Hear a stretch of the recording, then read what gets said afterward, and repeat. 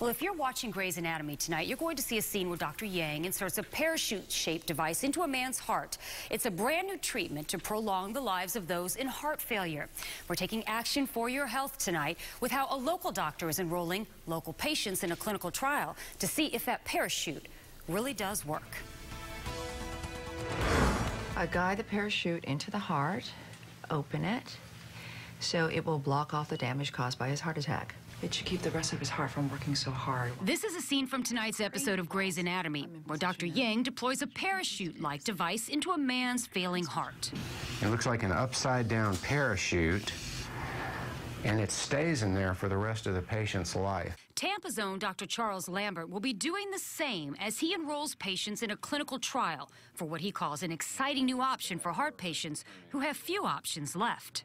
The parachute trial is really a first-in-man trial in the United States for a really unique device uh, which is made for a very specific and hard-to-treat patient population.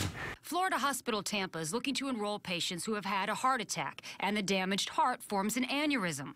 Any of the patients that qualify will come here to the cath lab at Pepin Heart Hospital, where they'll have that parachute deployed.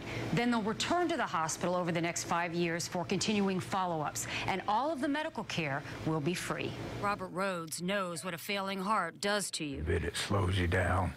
You can't do exactly the things that you need to do anymore. Um, usually on oxygen most of the time after after something like this happens. Um, just uh, you bruise easier. It's just it's just a big life change. The goal of the trial is to see if the parachute device blocks off the damaged area of the heart, allowing the heart to work more efficiently and lessen those debilitating and sometimes life-threatening symptoms. To learn more about this story and see if you're a candidate to enroll, head over to my Facebook page. Look for Linda Hurtado, WFTS, under Pages.